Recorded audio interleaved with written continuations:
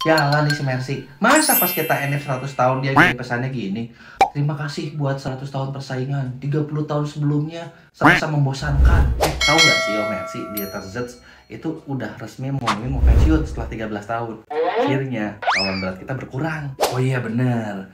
Gimana kalau kita banyak momen pensiunnya? Kita bikin seolah-olah dia tuh dari dulu pengen naik BMW. Hmm, dia mau nggak ya? Coba bentar buat telepon. Halo Om, mau nggak jadi bintang iklan BMW? Oh, nggak mau ya Om? Yaudah, makasih ya. Wah, dia nggak mau. Yaudah, gimana kalau kita cari talent yang mirip-mirip aja?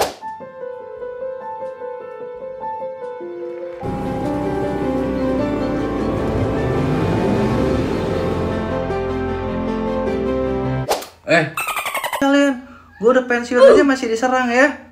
Si Om nih jangan baperan dong. Kan kita memang dari dulu juga jualannya gitu. Iklannya serang-serangan, sindir-sindiran.